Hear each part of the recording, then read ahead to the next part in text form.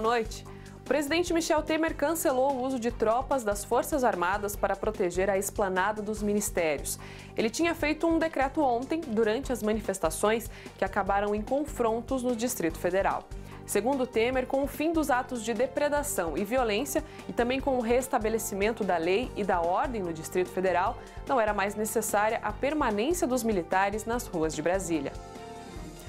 Ainda sobre as manifestações de ontem, o secretário de Segurança Pública e da Paz Social do Distrito Federal, Edivaldo Oliveira Júnior, disse que os policiais, os policiais que usaram armas de fogo durante os protestos foram identificados e são alvos de um inquérito policial. O Corpo de Bombeiros registrou 49 ocorrências. Quatro manifestantes receberam atendimento no local e foram liberados. Os demais foram encaminhados a hospitais de Brasília. Quatro pessoas ainda permanecem internadas em quadro estável, mas sem previsão de alta. E mais um pedido de impeachment do presidente Michel Temer foi entregue à Câmara dos Deputados.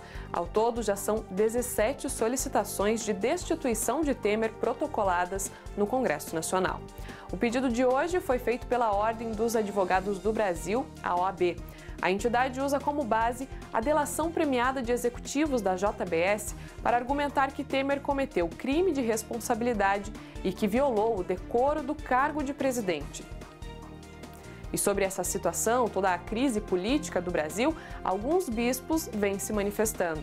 O secretário-geral da CNBB, Dom Leonardo Steiner, em entrevista à BBC, disse que a Conferência dos Bispos está discutindo internamente o impasse de permanência de Temer na presidência da República, mas que, para Dom Leonardo, não existem condições éticas do presidente permanecer no cargo.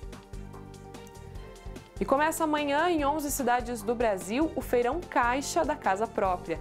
Neste ano, o evento vai acontecer em dois finais de semana diferentes, contando com mais de 228 mil imóveis novos e usados que vão ser ofertados em todas as modalidades de crédito habitacional do banco.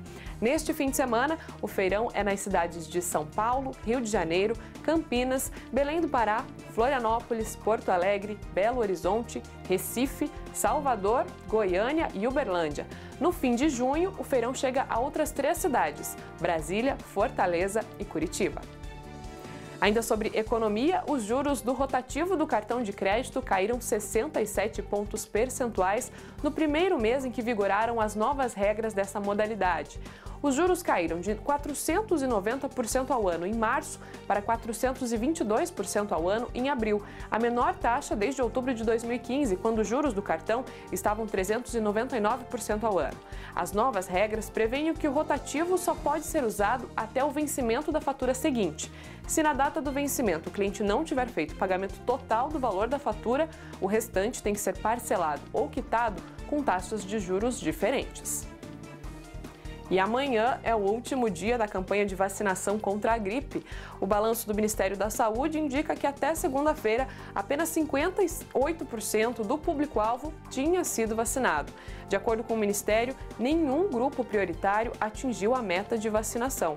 Os idosos foram os que atingiram a maior cobertura vacinal, com 67% das pessoas vacinadas. Os grupos que menos buscaram a vacina são indígenas, crianças, crianças, gestantes e professores. A vacina contra a gripe está disponível desde abril e, segundo o Ministério da Saúde, é fundamental para garantir a proteção contra a influenza, principalmente agora na época do inverno. Então, se você ainda não tomou a sua vacina, amanhã é o último dia, corra para um posto de saúde e garanta a sua proteção. Amanhã a gente volta com mais informação para você. Uma boa noite.